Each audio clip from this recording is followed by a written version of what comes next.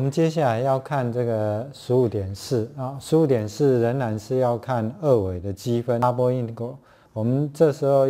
要看的是地基是用这个极坐标的方程来表达出来啊。我们知道地基之前我们都用直角坐标来看，那现在这一节要看的就是用极坐标来看。我们也会在这一节看到有一些问题。很自然的，你要选极坐标来做，啊，要会比较容易一点啊。我们现在就进入这个章节的主题。我们先看这个最简单的极坐标的地基啊。我们知道极坐标有 r、西塔这两个分量，r 就代表点到原点的距离，西塔就是代表它的角度啊。那假设这个 r 是介于 a 跟 b 之间。西达是介介于阿尔法跟贝塔之间，换句话说，这种是最简单的极坐标的地基。那简单来讲，这个在极坐标体系，你这样表达，它就是一种极坐标的长方形的概念。那这种极坐标的长方形啊，就是半径介于两个常数之间，角度介于两个常数之间。那你真的在坐标平面画出来的话，它其实是一是这个部分啊，是这个部分，就是扇形的一部分啊。它的角度是从这个阿尔法到贝塔，也就角度在这里啊。那长度呢，是从半径是从 A 到 B，所以画出来就是这个扇。我画这个红色区域的扇形部分。那假设我的地基啊长的是像这样的这个极坐标的话，那我我们现在要问的是，假设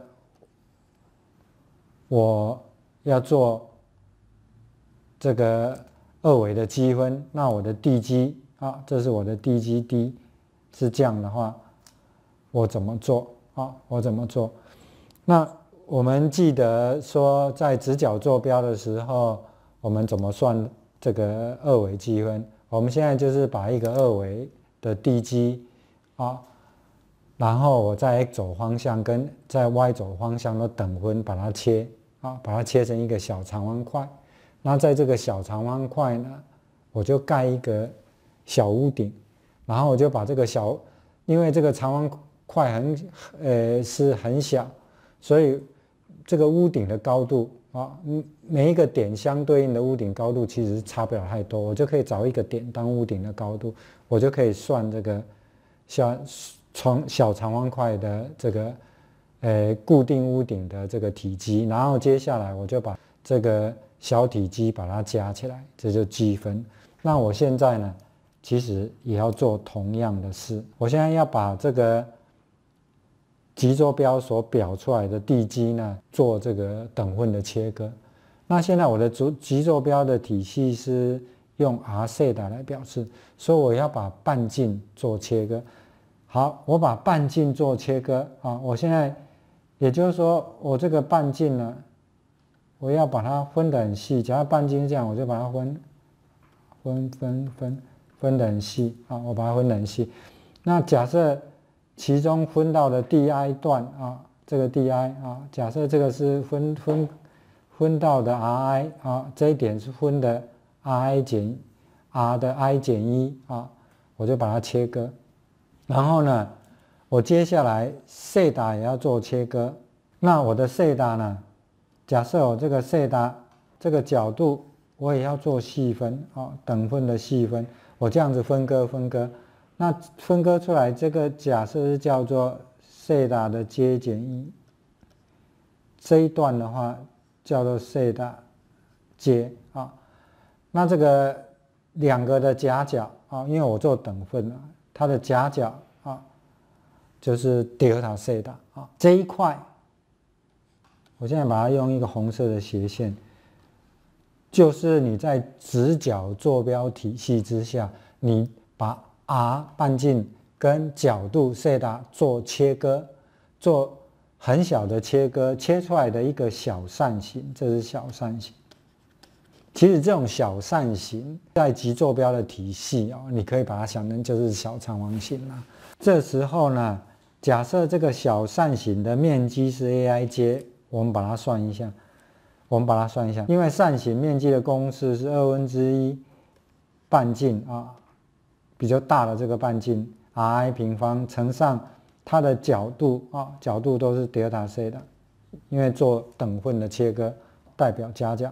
那减掉另外一个半径比较小的扇形面积，就二分之一 r 的 j 减一的平方乘以德尔塔西塔。你把它提出德尔塔西塔就是这样啊。换句话说，你这个小扇形的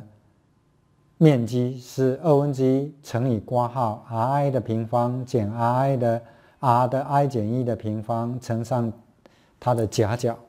小夹角德尔塔西的西塔。德尔塔西塔就是你做角度切割每一等份的角，那你把这一项 a 平方减 b 平方因式分解，你因因式分解就得到 r_i 减掉 r_i 减一乘上 r_i 加上 r_i 减一，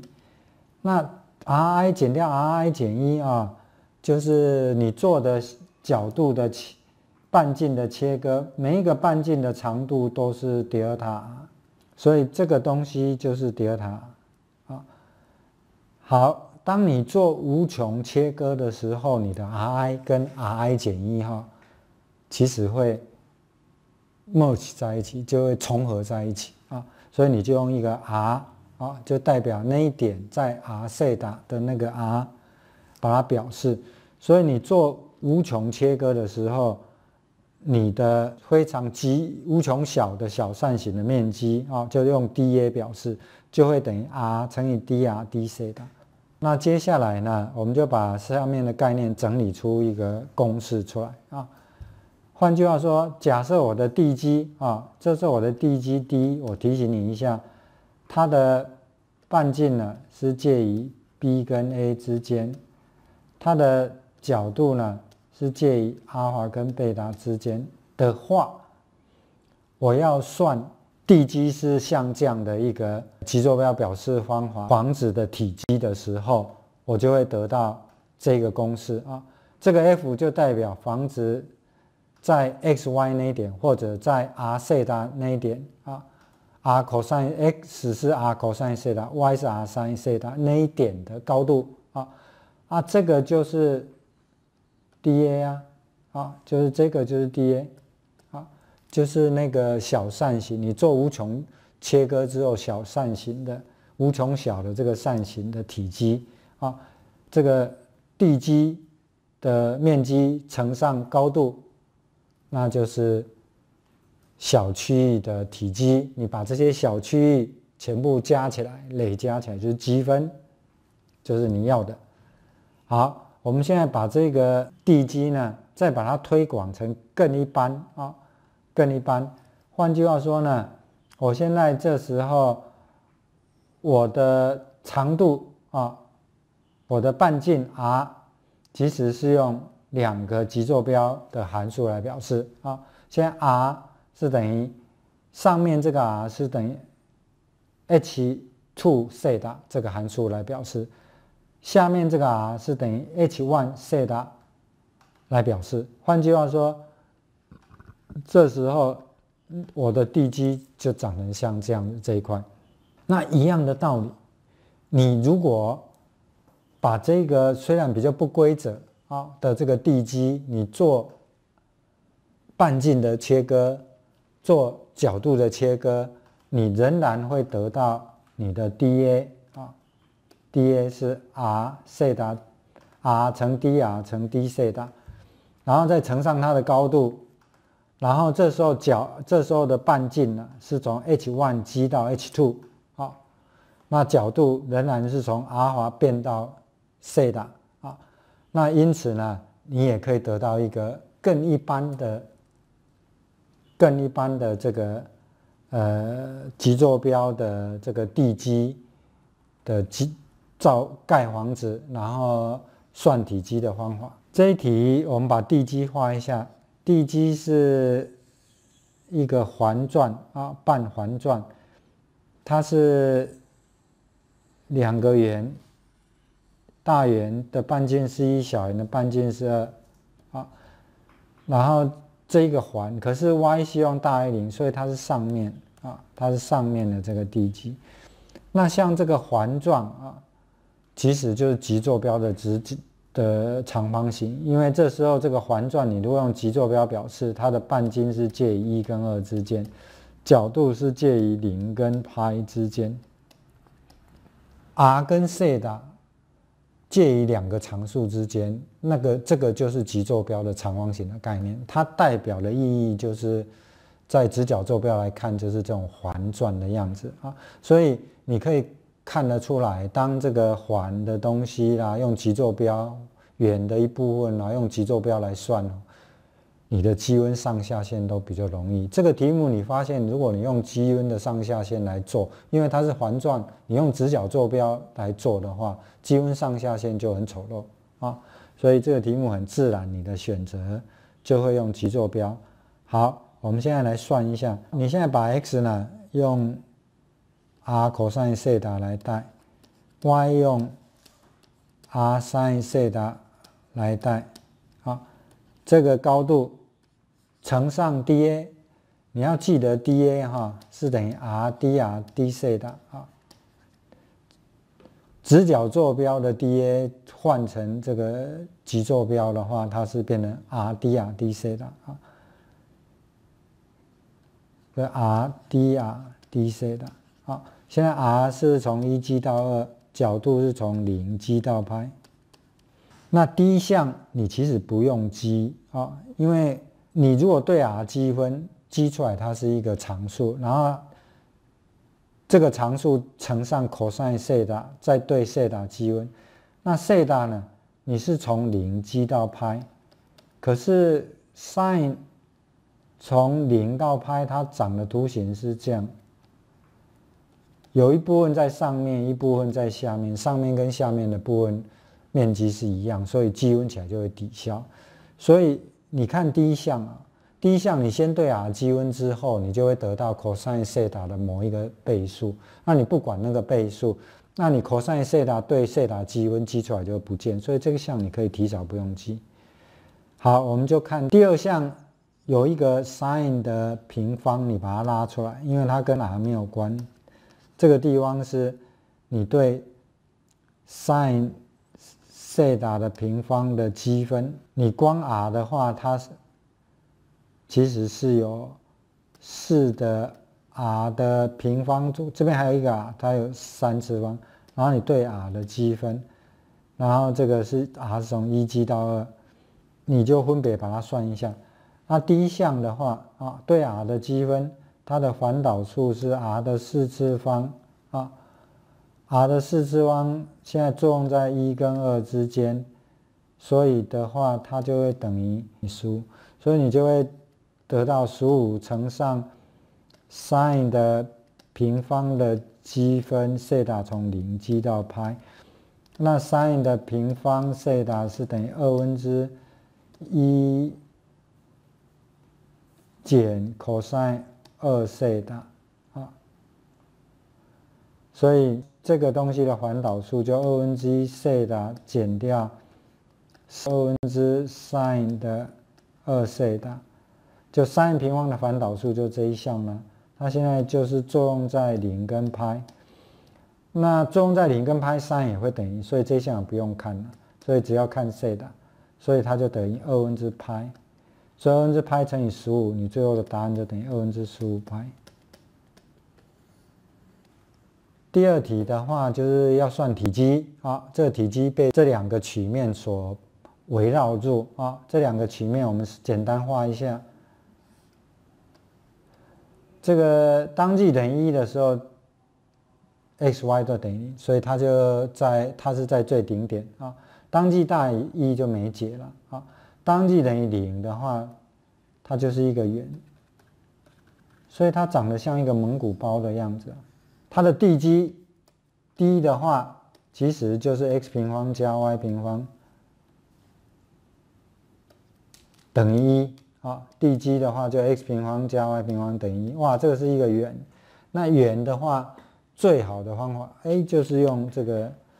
极坐标，所以我们用极坐标来算。好，它的它的高度是一减掉 x 平方减 y 平方，哇，所以高度你换成极坐标也蛮容易，就变一减 r 平方，然后乘上。dA，dA 就是 r，dr dc 的。那 r 的话，因为这个 d 就是一个圆呐，就是单位圆，所以 r 从零到一，角度从零到二二派，好，角度从零到二派。那这个式子，呃，也蛮容易算啊，所以我把它算一下，它对 r 的积分的话。呃，乘开来是 r 减 r 三方，所以它的环导数就二分之 r 平方减掉四分之 r 四方，作用在零跟一，一作用下去就是等于二分之一减四分之一就是四分之一。你这个前面这个项积出来是四分之一啊，四分之一再乘上对角度的积分，因为四分之一对角度是常数，所以就四分之一乘上二派就等于二分之派，最后就得到二分之派。第三题的话是又要算这个玫瑰曲线，这四瓣的玫瑰曲线的这个面积啊，四瓣的玫瑰曲线这个面积。那这个题目啊，现在要教你的就是说，这题目你又之前我们算这个其实是用一维的手法算，是用一维的算面积的极坐标的手法算。现在要教你的是算面积哈。我可以用二维的手法算。所谓用二维的手法算的话，我就把这个想成我的地基 D，我把它想成我的地基 D，把这个四瓣玫瑰片想成我的地基 D，我的高度把它想成是一啊。就换句话说，我盖房子，我的高度是一。那你二维的积温积出来是体积啦，但是因为你的高度是一。一乘上地基的面积乘出来，当然就是地基的面积。所以你只要把高度设为一，你就可以用二维的手法来算这种就地基的面积啊。所以我们现在来算一下。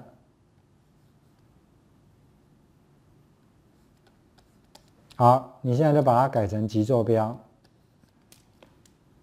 你改成极坐标的话，你可以看得出来。我现在高度是一，那 dA 就是 r，dr，dc 的。那 r 的话啊，r 的话就从零一直跑到 cos 二 c 的啊，就这一块啊，这一块。那这个角度其实是四分之派，那你只要算一算八分之一半就好了啊。就是从零积到四分之派，好，然后把它乘以八倍。好，这题的重点是要教你说算这种地基的这种东西，就是低的面积哈。算低的面积的话，之前我们用一维的手法算，那这个题目是告诉你说，我也可以用二维的手法算，我只要把它想成它是三维的房子，啊，D 就是我的地基，我。我的高度只要想成一，所以我就可以用二维的手法去算。第四题的话，就是说我要算这个三维的物体，这个三维的物体是在这个曲面的下面，但是在这个这个圆柱啊，这是一个圆柱的里面，而且呢是在这个水平面以上啊，就是 z 等于零的上面。你看一下啊。这个题目是这样，大概画一个图是这样，就是说，第一个曲面的图，它其实是是长得像这样的一个圆，越来越胖的圆，一直往 z 轴方向，一直一直延伸上去的样子。然后你的地基啊，你的地基其实是你如果看这个的话，我先在二维的平面上画，我先在 x y 的平面上画，这个。就是一个圆啊，它的半径是一，圆心是在 x 等于一，y 等于零，这是一啊，所以这一点是好。那这个方程式在三维的角度看，它的 z 是没有限制，所以它就是一个圆一直上去，沿翼的方向一直上去，所以这个是一个圆柱啊。所以这个图是代表一个一个像这样的圆柱啊，一直上去，一也一颗一直下去的一个圆柱，所以它地基是长在这。这样上去啊，这个三维的图比较难画，不过重点是你算这个问题啊，你都要把地基找出来，只要把地基找出来，把它屋顶形容出来，你就可以算它了。它的地基的话就是这个圆的方程式啊，换句话说就是这个圆柱跟平面 z 等于零的交集啊，所以。你这个地基把它表成极坐标的话，它就是 r 平方，因为 x 平方加 y 平方等于 r 平方，二 x 就二 r cos 西塔，你把它化简一下，它就等于 r 等于二西塔啊，这是我的地基啊，这我的地基，就这个这个圆的直角，呃，极坐标的方程式是 r 等于二 cos 西塔，那我的屋顶。其实就 z 等于 x 平方加 y 平方啊，就这一片呢，这一片是我的屋顶啊，这一片是我的屋顶。那你把它换成极坐标的方式，它就 r 等于 z 等于 r 平方。所以这个题目呢，你现在屋顶是 r 平方，好，dA 就是 r dr dc 的。啊，现在 r 从哪里到哪里？现在 r 是由这个圆描的，所以 r 是从零描到这一条曲线啊，这二 cos 西塔啊，二 cos 西塔。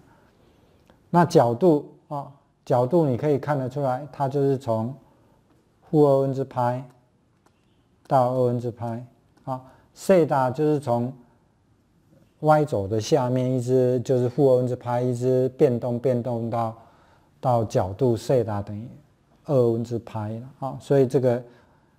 这个 volume 算起来就是这样啊。这个题目呢，就简单先算一下，里面的函数是 r 三方，r 三方的环导数是四分之 r 四方，作用在零跟二分之二 cos 西塔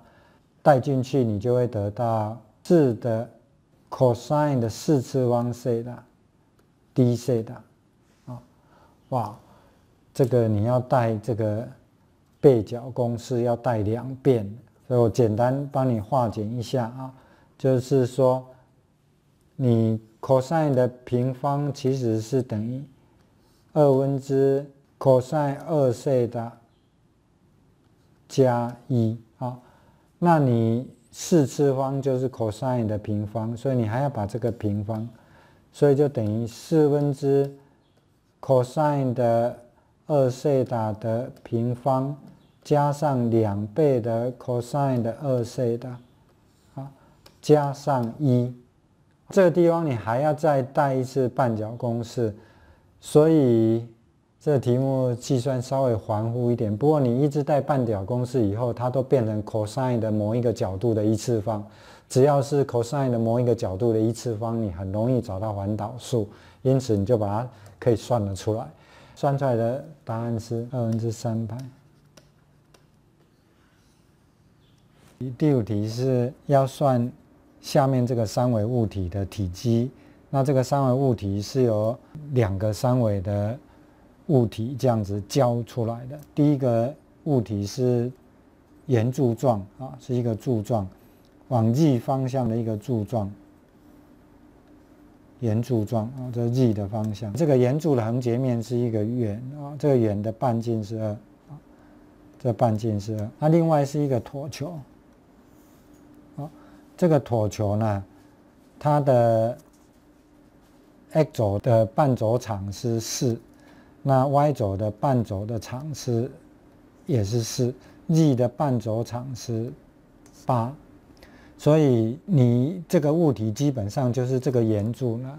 它贯穿这个椭球的部分。那贯穿的部分是整个长在椭球的里面。那这个圆柱跟这个椭球的中心都在圆点啊，所以呃，这个三维的图当然是比较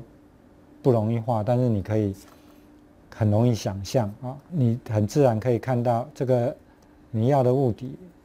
它的三维物体呢，它的屋顶呢。其实就是这个椭球的表面啊，所以你就把这个椭球的方程式用 z 的形式把它解出来，所以它的上屋顶 z 呢，就是等于根号六十四减掉四乘上括号 x 平方加 y 平方括号，这是你要的三维屋顶的上屋顶啊。那这个上屋顶的话。它其实就是由这个椭球的方程式把它解出来。你这个地基呢，我刚才讲过，这个圆柱的半径只有二，那椭球的所有各走的方向，它至少有四，所以你这个这个圆柱的横截面，其实你贯穿之后，它是含在这个椭球里面，所以它的这个地基呢，这个 D 呢，其实就是等于是。这个圆跟它圆的内部啊，这是它的地基。那这个物体呢，其实还有地下室啊，就水平面下它还有跟水平面上的呃形状完全都是对称的啊。那所以这这个题目你要算这个物体的面积呢，你就算呃水平面上的的这个体积，然后把它乘以两倍啊，把它乘以两倍。那水平面上的物体的体积呢？它的屋顶就是这个 z 啊，我暂时先用 z 表示。然后它的地基就是 d 啊，就 x 平方加 y 平方小于等于四。那这个题目呢，你当然是要转成极坐标来算比较简单。所以你用极坐标换算一下，你这个 z 就等于根号六十四减掉四 r 的平方。然后 dA 呢换成极坐标，你就得到一个 dr dr d 西塔啊。这个地基的半径呢是从零到二啊，那角度是从零到二派。那这个题目呢，你把它算一下，它的环导数呢，先对 r 积分，你把它的环导数算一下，它就是。六四减四 r 的平方，啊，然后这边这个指数应该是二分之三，那你为了平衡，你就要把三分之二乘过来，那迁入你会产生一个负八 r，那这边有一个 r 刚好抵消掉，所以你把负八变成负八分之一，你就平衡了啊，所以这是你对 r 积分它的环导数。那这个是作用在零乘零二，你最后把这个数啊算出来，乘以二派啊，这是对角度的积分啊。那对角度的积分，因为是常数，所以你就直接把它的积分上下限相减，就是二派。然后外面还有一个常数是二，所以你把这个数化简之后呢，最后你会得到的答案是三分之八派。乘上括号六十四减掉二十四，根号三括号。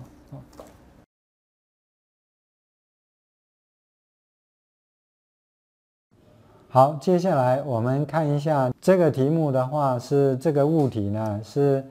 在这个锥面之上，但是在这个球的下面。所以这个这个题目是锥状形，然后这个球面啊，所以它大概是这样。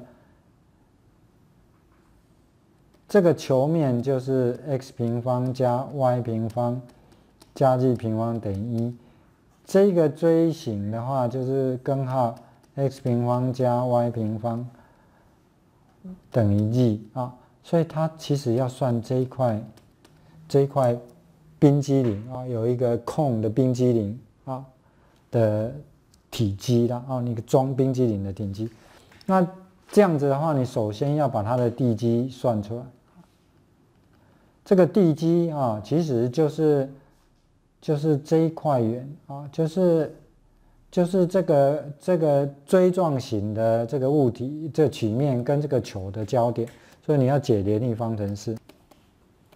那你解联立方程式的话，你就得到 z 平方也等于 x 平方加 y 平方，所以你就会得到 x 平方，把这个带进来，你就会得到 x 平方加 y 平方等于二分之一，因此你就会得到这个圆呢，你这个圆你把它投影到 x y 平面来，就是这个啊，就这个 x 平方加 y 平方等于二分之一，因此这个是一个半径为根号二分之一的圆。哦，所以这时候就很清楚了，它的它的 dA 是 D C 大。那它的高度啊，就是大高度减小高度，大高度就是这个球，这个球就是由这里解出来的，z 等于根号一减掉 x 平方加 y 平方，x 平方加 y 平方是 r 平方，所以这个大的。大的球是一减掉 r 平方，根号 r 平方，减掉小的，小的高度，小的高度是这一个锥面啊，这个锥面是 z 等于根号 x 平方加平方，根号 x 平方加 y 平方就是 r，啊就是 r，根号一减 r 平方减 r 是高度啊，就是你房子的整个高度，就这一段这一段的高度了，就这一段的高度。那这个 r 的话就半径啊，这个半径是从零积到根号二分之一啊，就这这个半径。那它是转一圈嘛，所以角度是从零积到二二派。那这个其实也不难积啊，也不难积，尤其这一项乘进来刚好环导数好找。那这一项乘进来是 r 平方，环导数也很好找。好，我们最后算出来的答案是三分之派乘上。二减掉根号二，这一题的话，你如果用直角坐标去算的话，你可以算得出来，你可以看得出来，这个很丑陋啊。光要找这个环导数就很头大了，然后你又要算完，又要带到这个更也蛮丑陋的上下限，就算你找出来，你也算昏头了。那这个题目啊，因为有 x 平方加 y 平方，这都是直角坐标的管区，因为有 x 平方加 y 平方，它都等于 r 平方。所以这个都是极坐标的管区了啊，属于它管辖的范围。所以你看到这种题目，你马上要联想到说极坐标是不是让你带来好处？那这个题目就是极坐标的好处很明显之一了啊。好，我现在呢就要把这个地基找出来啊，地基找出来。那地基呢，它 y 坐标是介于零跟根号二减 x 平方啊。X 是介于零跟二之间，所以你把它画一下，你把它画一下，y 等于根号二减掉 x 平方，其实你两边平方出来，它就是这个圆的上半段，圆心在一零，半径为一的一个圆，就是这一段。那 y 是从这里到零，x 是从零到二，所以其实就是这个半圆。啊，在上半部的这个半圆啊，所以你你把它用极坐标来画，这个高度就是 r，那 dy dx 就 dA，你把它换成 r dr d 西塔，所以就 r dr d 西塔。那现在 r 是从零啊，这个的极坐标。你把它平方起来，就是 x 加 y 平方等于二 x，这个我们刚才算过，这个就是 r 等于二 cosine 的西塔，所以 r 是从零积到二 cosine 西塔。那西塔的话，哦，西塔的话，它整个圆西塔本来是从负 n 之派到到二 n 之派啦，那你是半圆嘛？啊，半圆的话是从零积到二 n 之派。哇，你一把它换成极坐标，它其实柳暗花明，那你太高兴。这个题目一看，环导数很好算，你应该很快乐的可以把它算出来。那这是很 typical 的例子，你用直角坐标，你会算昏头了，算出来就是九分之十六。啊，最后一题的话，它是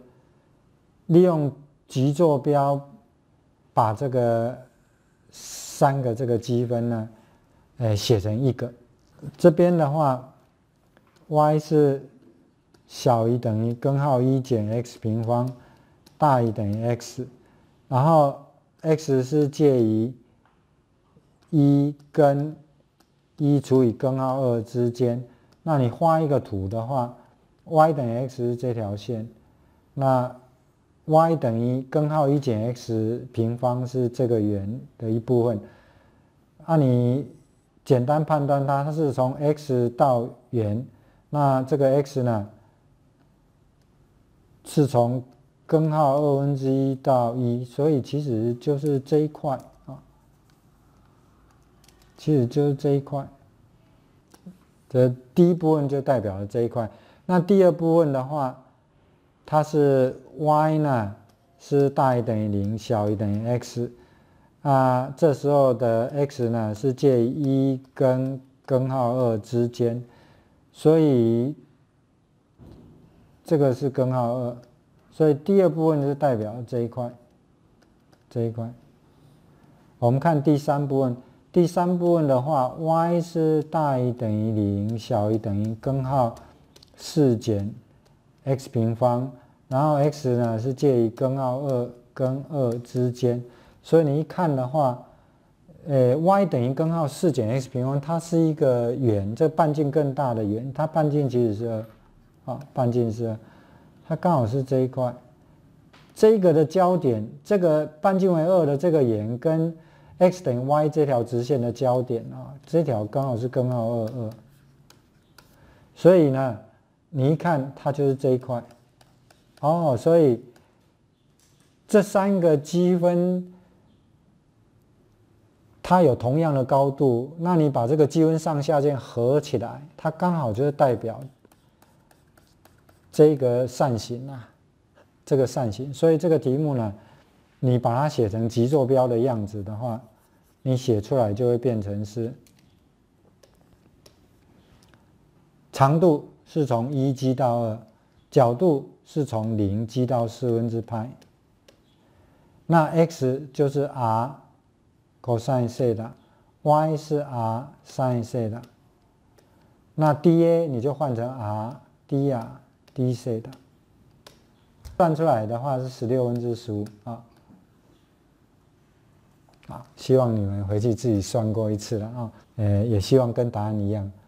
通常我有可能要算两次我才算的正确。